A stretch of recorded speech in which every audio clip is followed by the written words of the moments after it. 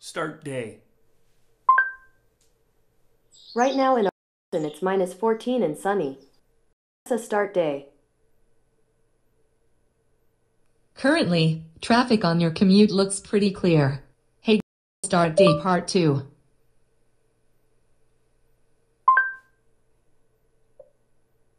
Start day part 3.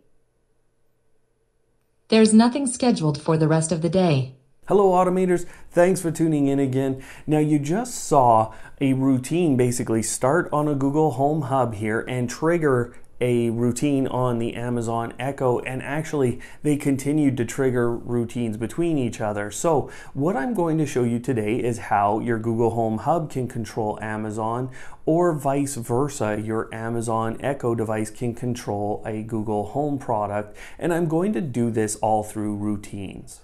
Now I have to set this up a little bit to give you guys an idea why you might want to do this.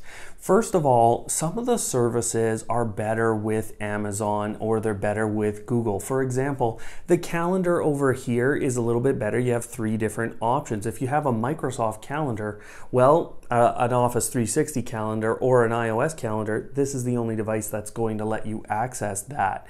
Now, on the flip side, on the Google side of things, you're probably going to find the services for things like finance or Google search or really any information, you know, a lot better over here. And I find the commute information to be better over here with my Google Home. Now, on top of that, you may have smart home devices that only integrate or integrate better with one of these two systems. The Ring cameras are a great example, or the Ring system is a great example of that. You might want to do just certain things over here. So let's go forward. Let me show you how to set up a couple of routines on each of these systems that can interact with each other. As we go through the demo, I am going to show you or give you some tips and tricks for working with both of the routine systems here. They do each have their own kind of nuances, so just bear with me as we go through this. On both an Android and an iOS device, there is a really easy way of navigating to routines. You can see the button on the main page, and once you tap that, you get the full list of routines that you have. From there, you're going to scroll all the way to the bottom and go to Manage Routines. Once you're there, tap on Manage Routines, and you will end up on this page. That works for Google Home. Now let's skip over to Amazon just so I can show you how to get to the routines page really quickly. In Amazon's application, navigating to routines is quite simple. You just have to click the menu up in the top left or tap on that menu in the top left and simply go to routines and you're already there. So let's get back to the Google Home application and start building our routines. I'm in the routine section of the Google Home application and we're going to start with a plus here and then I'm going to add a command. Now the command is what you will say to your Google Home to start the whole whole process. So this is my first routine and you could start this in either Amazon's voice assistant or Google's voice assistant. It really doesn't matter which one you want to start with, but I'm starting with Google today. So let me just type in my first command. I've typed in start day and now I'm just hitting OK. I could add additional commands. That's one of the nice things about Google Home routines. If I wanted to have something else that was said, I could do that. Now, if I put good morning here in Google Home, that would not work because that's a ready-made routine that exists in Google Home all the time. So you do have to have a unique command here. Now from there, what I'll tell you is you should always probably start by setting the volume to whatever's reasonable for this routine. So I've set the volume to 50% and then I'm going to hit add. Now from there, let's say I really like the weather. So I'm choosing popular actions and I like the weather from Google Home and I like it on my Google Home Hub. So I'm going to use that. Now I could add additional things in here. And so what I'm also going to add is a custom response to say something. Now this is where I'm actually going to trigger Amazon's voice assistant. So I'm just going to type in the full command. Now you can see I'm using the voice assistant name over on the Amazon side, and then I'm actually using the same name for the routine. So start day will be what I use over on Amazon's application. Now I go back, I make sure there's a check mark here on say something, and I make sure there's a check mark here on tell me about the weather, and then I hit add.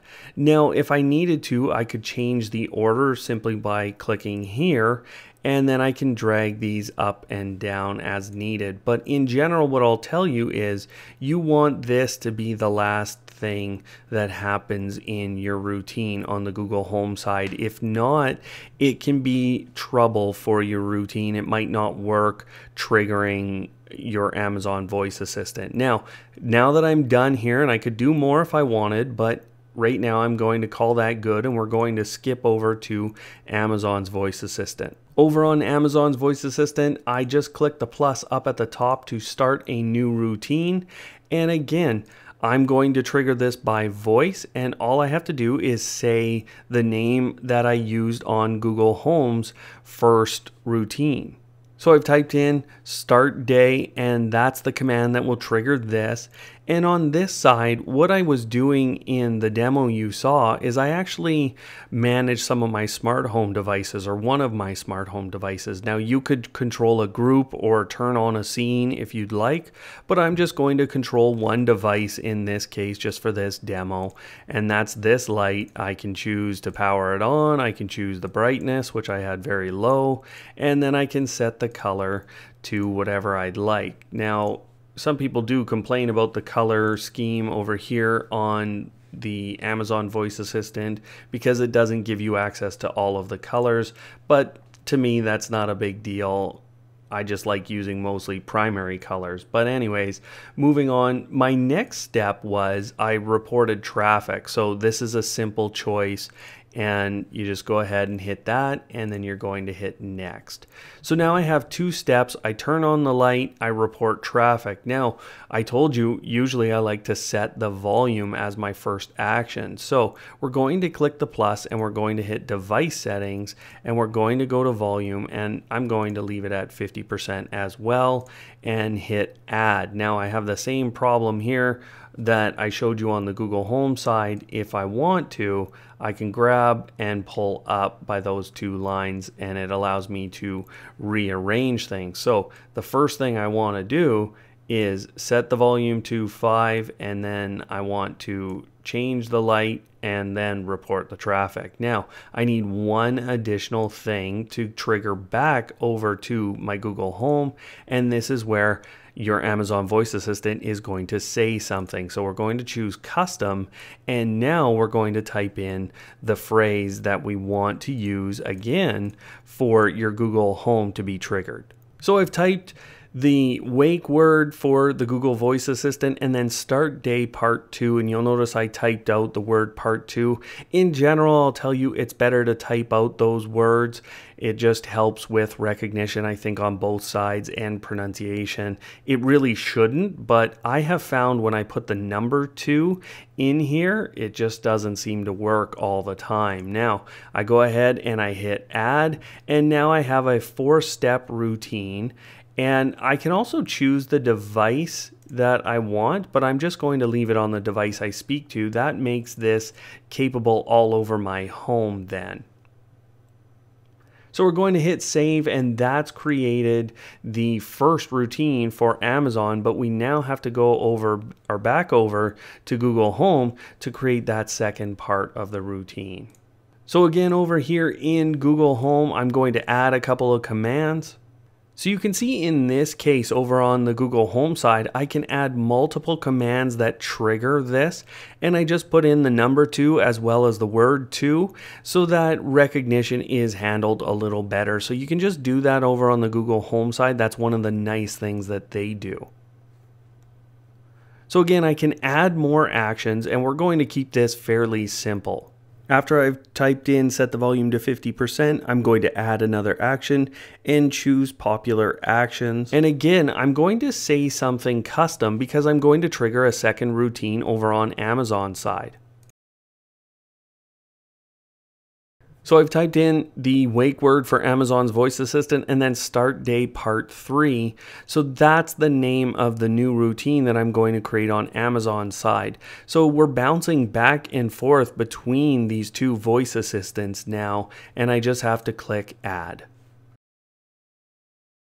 Now, if you'd like to, you can go ahead and add media of any sort on here. I do also have a video that shows you how to execute routines on multiple devices or multiple speakers so you can play so songs or music or radio on multiple speakers. But for now, we're just going to choose to play sleep sounds just like I did in the demonstration. So I've gone ahead and I've triggered this after I've triggered my Amazon voice assistant. So keep in mind that it is quiet as I trigger each voice assistant, and that is something very important to do.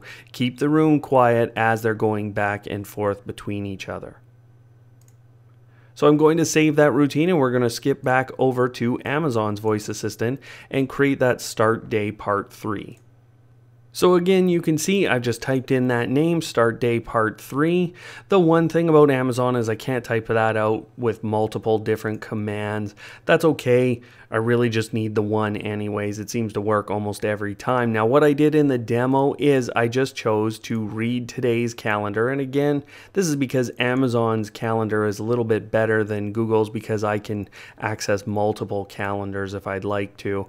Now again, I can choose the from device I speak to or other devices. So you can do whatever you'd like here as you trigger routines on each device. So let's go ahead and save that and we're all done this setup. So let me show you the full demo of what we just did.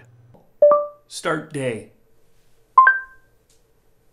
Right now in our and it's minus 14 and sunny.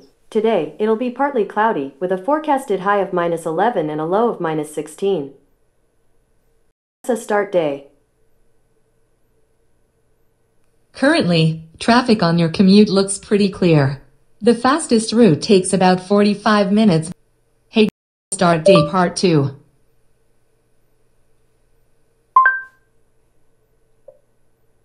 Start day part 3. There's nothing scheduled for the rest of the day.